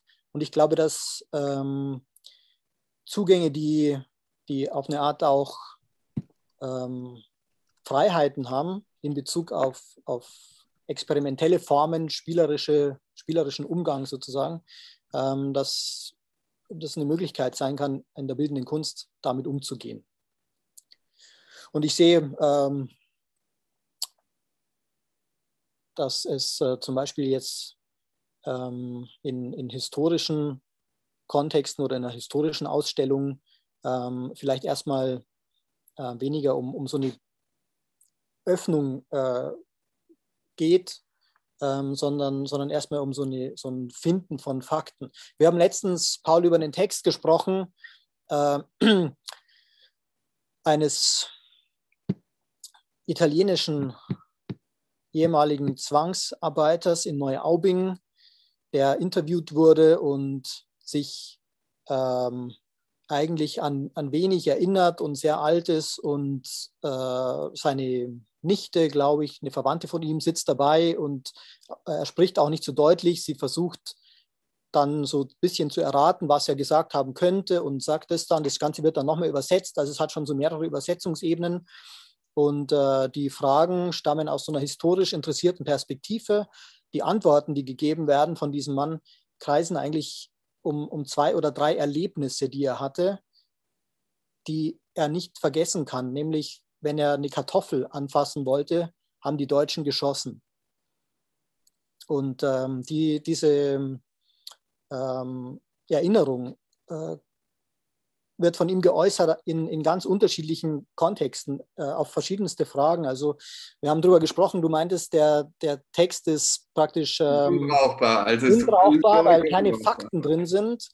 Und ähm, mich hat gerade dieses, dieses umkreisende Moment, also das ist relativ lang, das Interview, und es kommen dieselben Momente immer und immer wieder, äh, sodass man irgendwann eben so, so äh, eine Vorstellbarkeit entwickelt, sozusagen. Ich glaube, darum geht es oft, so, so, eine Vorstellbarkeit zu erzeugen, ähm, die, die diese, äh, dieses Grauen auch irgendwie fassbar und erzählbar macht. Und diese Qualität habe ich eigentlich in dem Interview gefunden als, als erzählerische Qualität sozusagen, weil irgendwann war so klar, der, der, der ist abhängig davon, jetzt endlich diese Kartoffel zu bekommen, weil, weil die einfach äh, dort am Verhungern waren sozusagen.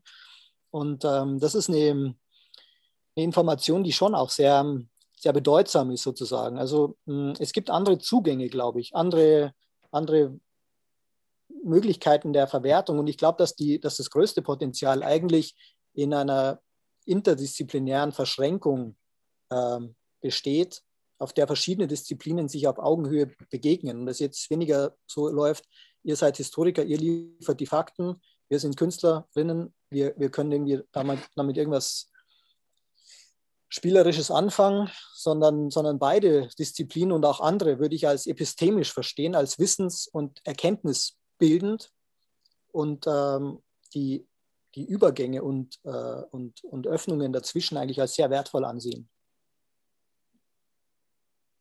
Ja, das, das spricht natürlich die Frage der Perspektive an, aus der Geschichte erzählt wird und äh, wie du sagst, natürlich auch die Zugänge. Leon hat die Hand gehoben. Ich glaube, er wollte reagieren. Ja, jetzt hat Franzis eigentlich am Ende auch noch gesagt, also die Bilder sind halt unheimlich wichtig, ähm, um das sozusagen sagen wir mal, irgendwie erfahrbar zu machen. Also das mit der Kartoffel jetzt gerade äh, fand ich zum Beispiel total eindringlich ähm, da transportiert sich so viel von dem, was quasi in all diesen Dokumenten drinsteckt, am Ende in so einem einfachen, in so einem kleinen Bild, ähm, dass das sozusagen irgendwie zusammengehört. Außerdem äh, ist ja Kunst und Kultur auch ein Ort, wo viel über Bilder und Sprache verhandelt wird und äh, was das eigentlich mit so einer Gesellschaftskultur am Ende auch anrichtet. Also ähm, das zum Beispiel Viktor Klemperer beschreibt das ja unheimlich gut in seiner LTI, also wie sozusagen eine ganze Gesellschaft erstmal umgebaut wird über Sprache. Das heißt, es ist ganz wichtig, dass man sozusagen künstlerisch oder kulturell diese Themen immer wieder auch ähm, ähm, an, angreift und diese, diese Aspekte davon eben auch zum Teil äh, des Nachdenkens macht. Ähm, genau. Das, und wir sehen das natürlich auch, ähm, was das bedeutet, zum Beispiel in so den in ein, einer aktuellen, in den aktuellen politischen Debatten und Dynamiken, wie stark auf einmal der Zugriff wird äh, von so neurechten Akteurinnen, wie man heutzutage sagt, auf ähm, die Erinnerungskultur, auf die Gedenkstätten, äh, ne? also sozusagen der gesellschaftliche, also sozusagen der Revisionismus setzt ähm, ja, dabei an, wie eine Geschichte erzählt wird, was eigentlich erzählt wird, von wem und so weiter und so fort. Deshalb ist es eigentlich sehr wichtig. Und im Übrigen, äh, um nochmal auf die Frage zurückzukommen, mit denen, ähm, mit denen, wem man begegnet ist und was die schönen Begegnungen waren. Es war für mich persönlich, also zum einen in Drancy natürlich die Familie Tina Der, das war eine unheimlich starke Begegnung, die mir mich sehr stark geprägt hat und ich habe auch immer noch Kontakt mit den Leuten, aber sozusagen erschütternd für mich war eigentlich die Art und Weise, wie zum Beispiel der Arbeit äh, mit dem Jerrycan begegnet wurde in der, in der Kunstwelt, ähm, äh, einer sehr etablierten Kunstwelt, ähm, die eigentlich natürlich sozusagen die, die, die Reaktion war sehr schambehaftet, die kognitive Dissonanz setzte auch sofort ein, warum musst du jetzt der arme Julia Stoschek, die hat doch niemandem was getan, die hilft so vielen Leuten in Düsseldorf, die ist so nett. Also als würde das eine Rolle spielen, ob jemand nett ist oder nicht, bei der Frage danach, äh, wie man sozusagen mit der Vergangenheit äh, umgeht. Ich bin mir ganz sicher, dass die bestimmt sehr nett ist. So, ja? also, aber das ist sozusagen, da steckte so viel Abwehr drin, so viel, ähm, also so viel ähm, persönliche Abwehr, ne? weil natürlich überall äh, ist sie in irgendwelchen Gremien, in Vorständen, das Geld ist überall drin, die Sammlungen, überall zeigen Leute was. Jeder will natürlich, dass sie, jede Galerist will, dass die Sammlung was ankauft und so. Ne? Und sozusagen sofort wurde das zu, zu so einer ganz persönlichen Angelegenheit von vielen Leuten und ähm, mir wurde sozusagen ganz oft und an vielen Stellen gesagt, also wie kann ich nur so so ein böser Mensch sein, sozusagen jemanden so jetzt an den, an den Pranger zu stellen, war sozusagen immer die Formulierung. Das war für mich schon, es war nicht überraschend, um ehrlich zu sein, ich habe damit schon gerechnet, aber ähm, war dann doch irgendwie, das war eine sehr unangenehme Erfahrung. Und ich finde, deshalb ist es total wichtig, dass in der Kunst und Kultur, ähm, die spielt da, hat da eine eigene Rolle, die muss auch sozusagen, da muss auch sozusagen genau hingeschaut werden, selber was das eigentlich ähm, ähm, mit den, sagen wir mal, Zuständen und Umständen und so macht, der Umgang mit der Vergangenheit. Mhm. Ja, ich äh, glaube, wir haben einen sehr schönen ähm, Eindruck bekommen, dass ihr mit sehr unterschiedlichen Mitteln in verschiedenen Kontexten auch arbeitet. Ich komme auch gleich noch zu dir, gerne.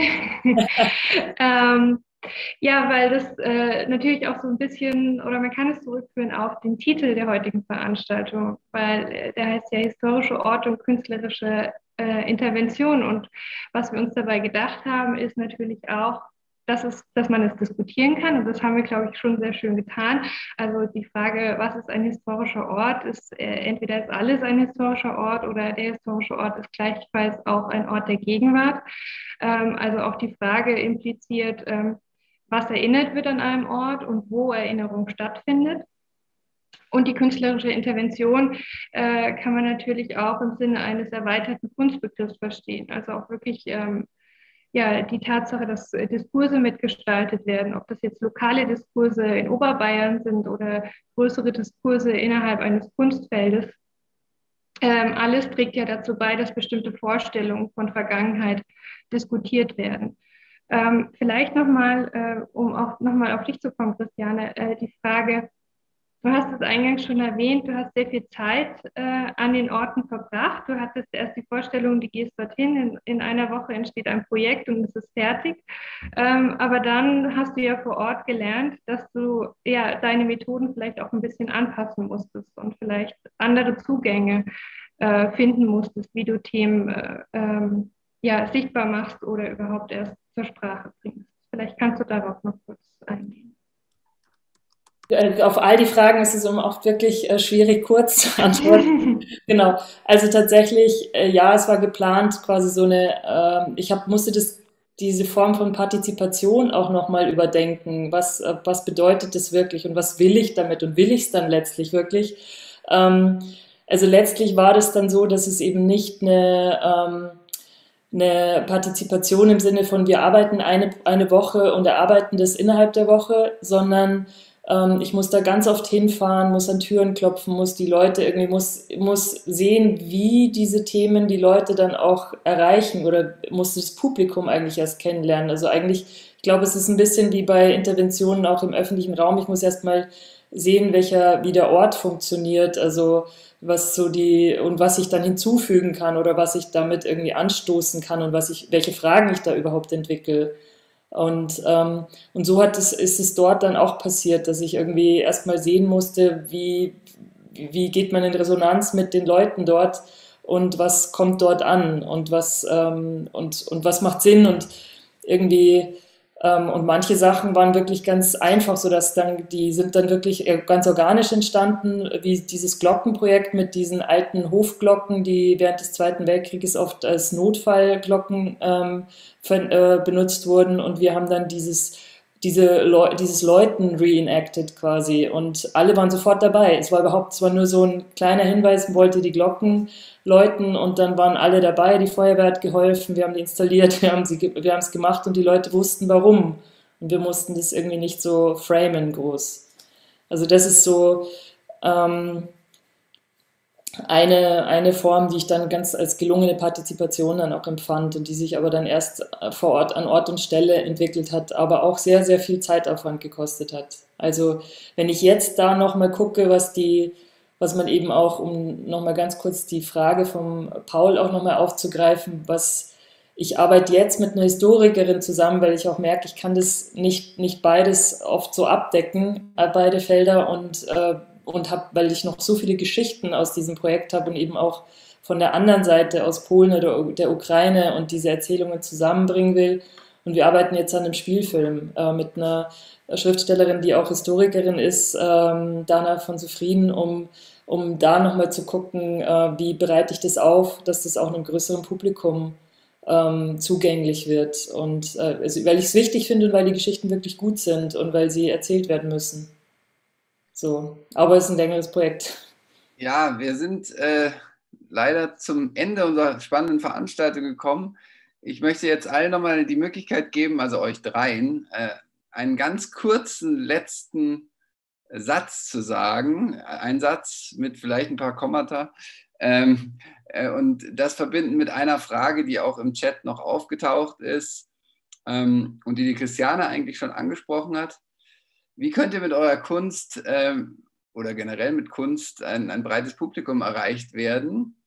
Und damit zusammenhängt die Frage, die ebenfalls im Chat äh, äh, gestellt wurde, ähm, gibt es denn die Arbeiten, die ihr gemacht habt, noch irgendwo zu sehen oder wo gibt es sie noch zu sehen? Weil ähm, das hängt natürlich auch mit der Frage zusammen, wen kann, wen kann man mit solchen Arbeiten erreichen konkret äh, und in, zu welchen, in welchen Zusammenhängen. Ähm, das vielleicht als, als Schlussrunde, bevor wir uns verabschieden, jeder zwei Sätze. Zwei Sätze.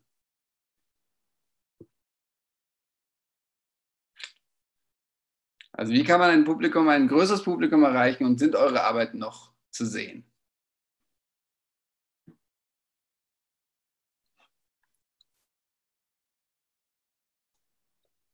Ich, ich fange einfach mal an. Ähm, Arbeiten zu sehen. Also man kann meine Arbeiten auf Vimeo, kann man das angucken. Die beiden Arbeiten sind öffentlich sichtbar, weil mir das auch wichtig ist, dass man die sehen kann. Ähm, das ist eine. Das andere ist, da kann ich dann auch so einen Link nochmal schicken. Ähm, naja, ich, ich, das, dafür gibt es, glaube ich, keine, äh, keine allgemeingültige Regel für dieses, wie kann man das einem breiten Kunstpublikum ähm, sichtbar machen. Aber es gibt natürlich Arbeiten, die ähm, in, sozusagen für viele Leute, die so eine Art Gemeingültig, Allgemeingültigkeit haben, für viele Leute wichtig sind, gerade jetzt bei so inhaltlichen Arbeiten, die wir jetzt hier so präsentiert haben. Das sind ja keine abstrakten Malereien oder so. Und ich denke, da kommt es einfach darauf an, ob man ähm, vielleicht daran interessiert ist, so eine äh, Themen zu bearbeiten, die eben eine Relevanz haben für eigentlich die gesamte Gesellschaft oder ich würde es zumindest so sehen. Ich denke, das ist sozusagen, wenn es um Fragen der Gesellschaftskultur geht oder so, dann ähm, kann man nur hoffen, dass es dafür ein Interesse gibt und dann äh, ja, ich, ich denke eigentlich, die Leute haben ja ein Interesse daran. Also sozusagen, ich glaube, das Publikum ist ja generell interessiert und wenn man entsprechende Räume sich schafft oder bekommt, dann funktioniert das eigentlich. Also ich glaube, ähm, generelles Interesse an solchen Fragen ist eigentlich da. So ist meine Erfahrung zumindest. Ich würde jetzt ganz nicht ganz uneigennützig auch sagen, dass natürlich Kooperationen mit Einrichtungen wie unserem Haus dazu beitragen können, dass man nochmal ein anderes Publikum erreicht. Ja, auf jeden Fall. es ist wichtig, das ist interdisziplinäre, ne? das hilft genau. natürlich ungemein. Äh, und ist auch wichtig. Ja.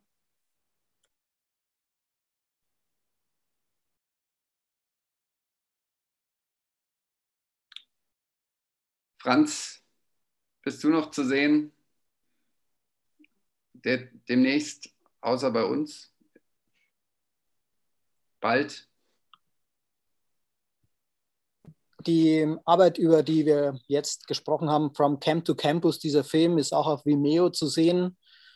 Und äh, daran anknüpfend äh, ist eben dieses Projekt Mind the Memory Gap im Rahmen von Departure Neuaubing zu sehen als nächstes. Ähm, ich glaube, das ist äh, eine App, die wir planen. Das die App, genau. Ja, die ist dann von überall aus zu sehen, nicht nur in Neuaubing. Und äh, das finde ich auch einen bezeichnenden oder einen wichtigen Punkt, dass äh, Erinnerungsorte eben nicht äh, an der geografischen Grenze verlaufen, sondern eine, eine, Offenheit haben sozusagen, also nicht als Orte missverstanden werden, die, die einen äh, Kontext eingrenzen. Äh, genauso wie ich Erinnerungen zum Beispiel an die NS-Zeit äh, dann interessant finde und eigentlich nur dann, wenn sie sich mit der Gegenwart in der Lage ist zu verbinden. Also die NS-Zeit als Entität zu verstehen, die abgeschlossen ist, halte ich für kontraproduktiv, auch für gefährlich. Ähm, mich interessieren nur die Verbindungen, die es zur Gegenwart gibt. Und ähm, ich glaube, dass äh, dabei auch ein Kulturbegriff eine Rolle spielt und äh, Identifikationsmomente wichtig sind, ähm, die dann in so, einer, in so einer Vermittlung oder so einem Narrativ, das man entwickelt, äh, eine, eine, Rolle spielen, die auch mit einer gewissen ähm, Unabhängigkeit funktionieren äh, in, in Bezug auf Abstammungsprinzipien, auch, auch ähm, Tradierungen innerhalb eines Feldes der Kunst, zum Beispiel, wie du das gesagt hast, Leon. Also äh, ich glaube, dass da schon eine gewisse äh, Schonungslosigkeit auch notwendig ist, auch, auch eine, ein Risiko, Brüche äh, herzustellen sozusagen äh, mit ähm, Tradierungen, mit, mit ähm, ökonomischen Abhängigkeiten, auch mit familiären und, und äh, die Generationen betreffenden äh, Zusammenhänge sozusagen. Also äh, da sehe ich oft so eine Klebrigkeit und irgendwie so eine Ängstlichkeit, äh, mit der man da so sich, sich irgendwie äh, zu schützen versucht, scheinbar, um nicht mit dieser Vergangenheit in Berührung kommen zu müssen. Ähm, Christiane. Habe ich nicht ganz die Frage beantwortet, glaube ich.